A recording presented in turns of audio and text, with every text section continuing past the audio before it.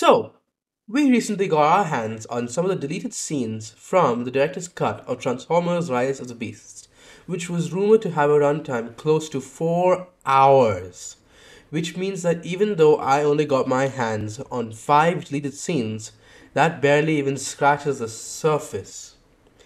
Now, before I begin my analysis, I just want to thank all of you for tremendous support on the previous video. It was certainly my biggest undertaking, and I am more than happy to say that it paid off. Anyway, let's roll that intro.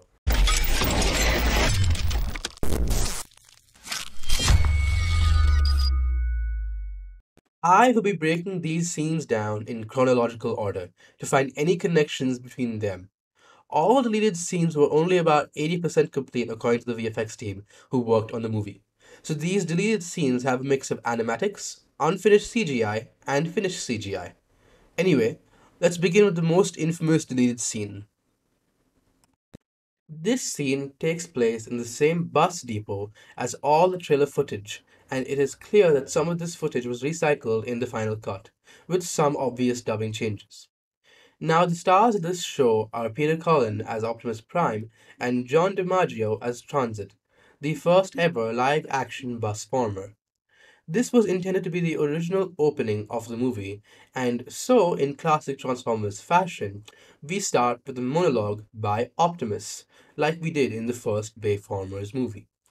Optimus also hints at the fact that the other four Autobots and himself are all that he is aware of that remain of the Autobot resistance. When Transit is parked by the human driver, we see the code 89P7.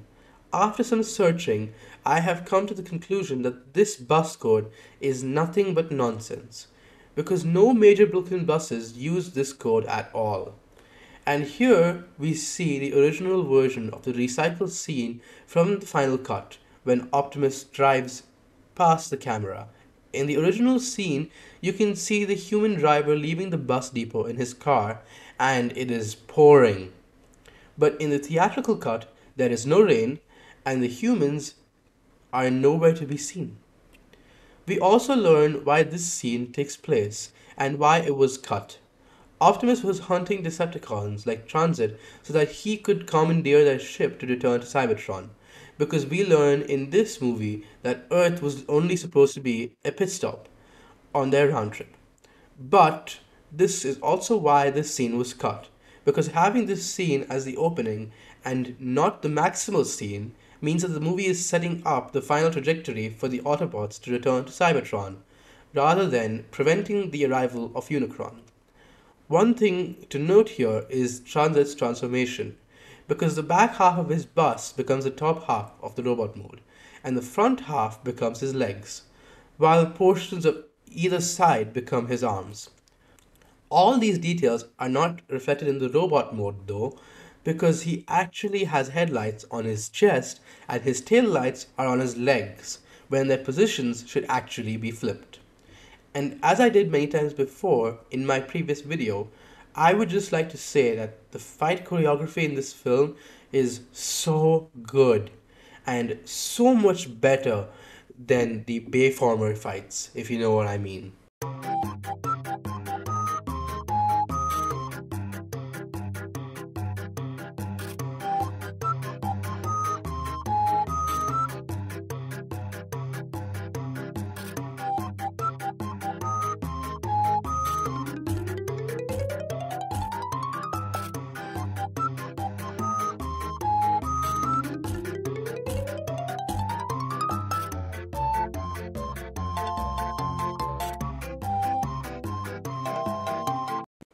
Another thing to consider is the scale, because Transit is basically the same height as Optimus, which is not surprising for a bus former, but this means that he would tower over the other Autobots, because they are much, much shorter. Mirage is literally half as tall as Optimus.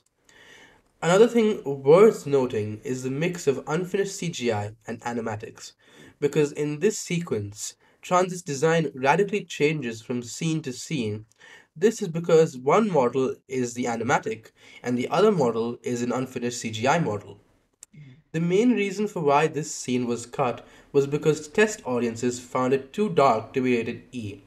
But the truth is more disturbing because this scene was initially planned to end with Optimus tossing Transit's corpse into the Hudson River, where it would flow through a canal which led to a pipe of other Decepticon corpses. No names were given for the other possible Decepticon corpses, though. The other reason was because it did not fit with the tone of the movie. Because if the movie were to open with a fight with a Decepticon, it would set the story for the continuation of the war for Cybertron and the return to Cybertron, rather than stopping Unicron from reaching Earth. Also, because if the Decepticons knew the location of the Autobots, they would not simply march into the planet, one by one, like a neat line of ants. That does not fit their character archetype. And this scene would only serve to muddle the previously established mythos of this universe. Following the theme of a darker plot, this scene is the alternate scene to the end of the museum fight. In the original, we just have Airazor meet the Autobots after escaping the police for a second time. But here, we pick up with a zoom out on the lifeless corpse of Bumblebee, giving this scene some much needed weight. Another thing that was added was Elena's reaction to meeting Cybertronians. Other than that, the rest of the scene plays out exactly the same way it did in the theatrical cut. And personally, I think that this scene is actually a lot better than what we got because it gives us much more insight into Elena's emotions, making her feel like a real three dimensional character.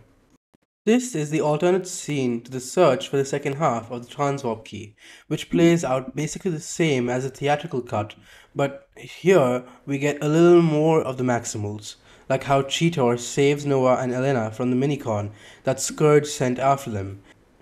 And here we get to soak in the true scale of the Maximals, because Cheetor absolutely towers over Noah and Elena. This deleted sequence also includes the mountaintop chase scene in Peru, and one main thing worth noting is how different Arcee looks in this. The differences are night and day. Although what is quite amusing is the fact that the other although what is quite amusing is the fact that other than that one slow-mo scene, Arcee's model is the same as it is in the theatrical cut. Meanwhile, in the cave, Noah and Elena come across Rhinox, who once again looks absolutely gargantuan in comparison. Back on the mountaintops, there is another key difference. In the theatrical cut, Optimus just converts to bot mode and just engages Scourge head on, whereas in this alternate scene, he actually reveals a small blast to shoot the mountain above and collapse the road. Because in this alternate scene, Scourge and the gang are way behind, and as Optimus turns that portion of the road to rubble, Scourge leaps at him, and like in the theatrical cut, they start tumbling down the mountain. In the cave, Noah and Elena successfully get away from Rhinox and are able to just move out of his horn's reach. Back to the mountain chase, another main difference here is that instead of instantly being taken out by Battletrap, Arcee and Pablo put up a bit of a fight because Arcee is actually able to first change out her gun and try to take a shot before they are taken out. Other than that, the mountain portion of this scene plays out basically the same way in both versions. This deleted scene is almost the exact same as the scene from the theatrical cut, except for the exchange between Prime and Primal in the beginning and the end. That's it. And now for the final deleted scene. This scene is also connected to the alternate and darker story of the movie and was removed for the same reason as the opening, because Paramount wanted the ending to be hopeful, although personally I prefer this ending because it builds up suspense. Because you need that if you're going to commit to a trilogy. One thing worth mentioning the sound design here is almost perfect because in space there is absolute silence and this is why we should not have heard Unicron's voice at the end of the clip. That would have made this scene perfect, especially since Unicron's eyes lighting up was so ominous. But yeah, that is it. Those are all the deleted scenes in this movie. I really feel most of them, if not all, should have made the final cut. The only one that makes least sense is the opening scene, but that too could have been added after the opening of the theatrical cut, as the bridge to the earth rather than our introduction to Noah, which would still happen, but after this scene, so that we get more backstory in relation to the history of this universe while still playing within the bounds of this story. But anyway, that is all I have for you guys today. I felt obligated to cover these deleted scenes as part of my Transformers Rise of the Beasts analysis series, although there is more to come. I have one more video planned for this series, then I might move on to either Transformers 1 or the new Transformers games or something else. If you would like to see something, just comment down below. I would love to hear your thoughts, and as always, subscribe, hit that bell icon, and I will see you in the next video. Bye.